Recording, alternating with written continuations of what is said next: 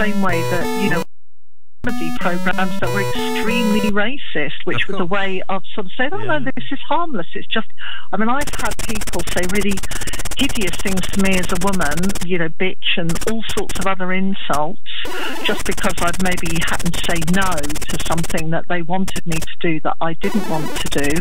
And very soon it's turned into an extremely aggressive situation with them saying nasty things which they disguise as jokes. But so isn't that you, that, but, but, you know, in that case, we'd have to get rid of all profanity, wouldn't we?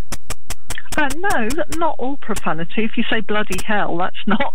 No, but we'd have to get rid of it, profanity that is aimed at, you know, if you were to use, you know, a, a terrible four-lettered word to somebody. I mean, some some words can be used as a noun, some can can be used as a an adjective or a verb, can't they? Yeah, but still, the majority of swear words do not necessarily are not denigrating someone else for being a second-class human being. Yeah, but if I were to call So- somebody a lousy and then use the F word, I mean, that's pretty pretty derogatory, isn't it? It almost doesn't get It's more. still not hate speech. It's not. Isn't it? It's not.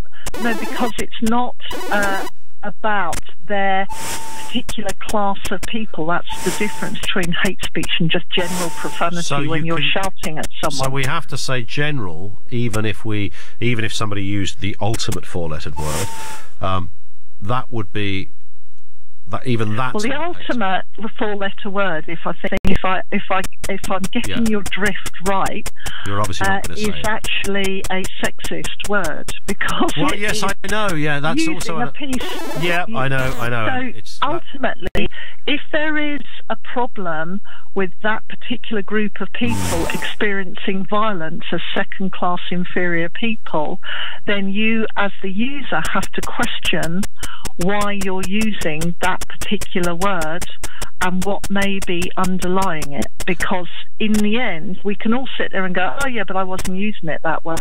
But to deny a word or a series of words So you can't use a doesn't word have that a history. Okay, so so it's where the roots are, what it means. Could you really get away with that with that particular word? Could you really say that because it has uh, genital-based connections and connotations? Female, Yeah, female, female. connection where- means that, and if it is often used as a way of frightening, intimidating, or silencing a person through gender, then yes, you can say But it has in its the same way that Batty Okay. has a problem because of the fact that so many people die, and that's the last thing that they hear, hear as they're kicked to death. It has a problem with that fact because, as I said, of its use in violent attacks. But if it's not coming from a bad place, if the person isn't you can't. Yeah, but that's like using an extreme, extreme okay, well- profanity and saying, "But I wasn't using it in a profane way." Well, you have to be aware that other people, you're not just on your own in the world, and you can't reinvent words But and say, "Well, they don't have a history What- behind them." What if there's going to be some people listening to this, Vicky, and they're going to be thinking Hmm. that woman needs to get out more. She's thought about this too much. How would you respond to that? I would say that as a person that counsels people that has have been through domestic violence, I would sit there and go, you don't use words without being careful of what they might mean to someone else. We are talking It's though about whole. knowing. of course, It's about having respect for other people. If you don't use the N word, and you don't use it for very good reason because of the fact that people have experienced violence and that, that word is associated with violence, then there are a whole load of other words that are also associated with violence. Listen, Vicky, thank you. Um, interesting stuff. I know that you will probably have divided the room on, on much of what you've said, but it was fascinating to talk. Thank you. 0345 6060 973. But then you think about how mates talk. You know, me and my girlfriend, some of the things we say in jest to each other. I, I wouldn't I wouldn't be able to say them on the radio because I would be you know removed from the airwaves. Um, and you know it's kind of the moment when your girlfriend you walk down in the morning and just comes out with a phrase and you just want to collapse laughing because it's so funny. But under Vicky's rules, a lot of that would be uh, would, would be taken away uh, and wouldn't be allowed, and my other half would be in jail uh, for for such uh, verbal nonsense. Old potty mouth. 0345 6060 973.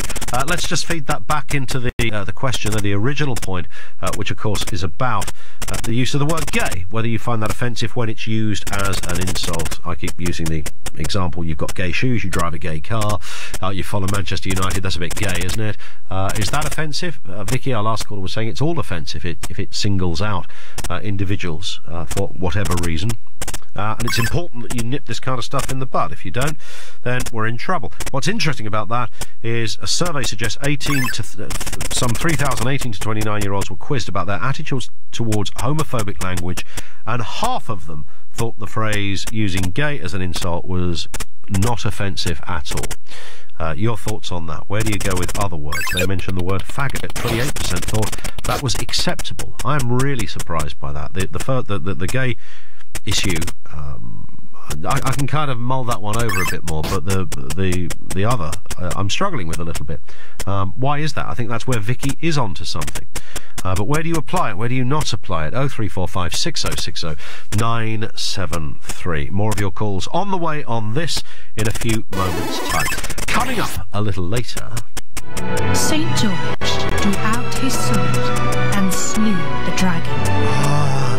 dragon coming round here your ways. Uh, and George uh, slew. What did he do? Slew him. Slew him. Slew. That's right. That's a word you don't use very often, isn't it? Um, he slew the dragon, the nasty beast. But that's because he's St George. He's the patron saint of England. Uh, why is it? I asked this question right at the very beginning. It's still a little bit taboo to celebrate being English. Will you be celebrating tomorrow? That's in 29 minutes' time, by the way. LBC News Time. It's half past 11 with the latest Victoria Bourne. David Cameron says Britain can play a role in strengthening the search and rescue operation in the Mediterranean to help the migrant crisis. He'll be taking a break from the campaign trail tomorrow to join EU leaders for an emergency summit in Brussels. A group of MPs is demanding allegations of child sex abuse against Labour peer Lord Janner be brought before a court. It follows the CPS's decision that his dementia makes him too unwell to stand trial. Lord Janner's family say he's innocent. The National Crime Agency has called a paedophile ring, which streams sexual abuse of children online, the most vile organised crime it's ever seen. Two members were convicted earlier of planning to commit sex offences jewellery heist in London's Hatton Garden over Easter say they've only managed to contact six people who they think have had items stolen. 72 safety deposit boxes were broken into. You can see the pictures from inside the vault online at lbc.co.uk. LBC weather a misty evening with patchy clouds for London and the southeast, lows of 5 degrees. Clear spells for some central and northern areas before cloud thickening throughout the night. Patchy rain affecting parts of Scotland and Wales. Tomorrow will be dull and cloudy to start with before turning brighter with highs of 16 degrees. From Global's newsroom for LBC, I'm Victoria Bourne. You can hear what I have to say on LBC. Now you can read it too. I'm Iain Dale and make sure you pick up the new series of books from LBC's presenters. In mine, find out exactly what I think about an institution close to everyone's hearts, the National Health Service.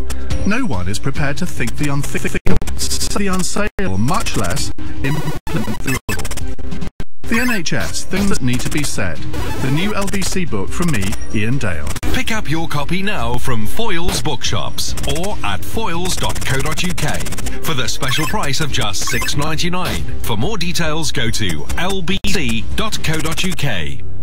Ian Collins on LBC.